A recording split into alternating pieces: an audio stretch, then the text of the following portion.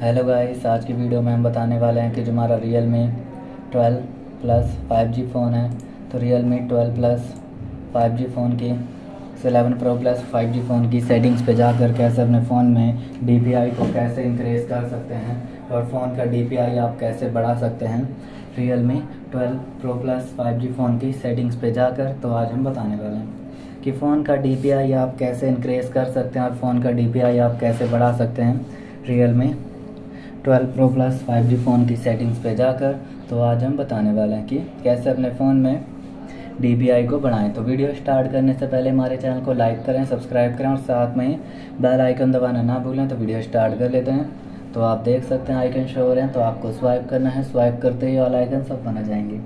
जिसमें से सेटिंग्स पे जाना है और क्लिक करते ही फ़ोन की सेटिंग से ओपन हो जाएगी।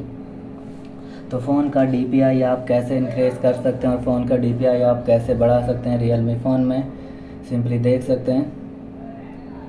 अबाउट फ़ोन पे जाते हैं। अबाउट फ़ोन पे जाकर आपको वर्जन पे चले जाना है। वर्जन पे जाकर वेट नंबर्स को तीन से चार बार टैप कर लेना है। फिर आपको बैक करना है। बैक करते ही आपके पास ऑप्शन आता है।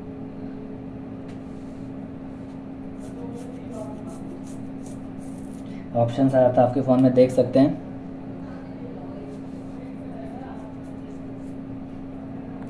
एडिशनल सेटिंग्स का। तो एडिशनल सेटिंग पे जाकर डेवलपर्स पे चले जाना है, जिसके ज़रिए डीपीआई को आप इंक्रेज कर सकते हैं स्लाइड करते जाना है, जब तक आपको ऑप्शन नहीं मिल जाता है तो आपको स्लाइड करते जाना है और आपको यहाँ पर ऑप्शन मिल जाएगा।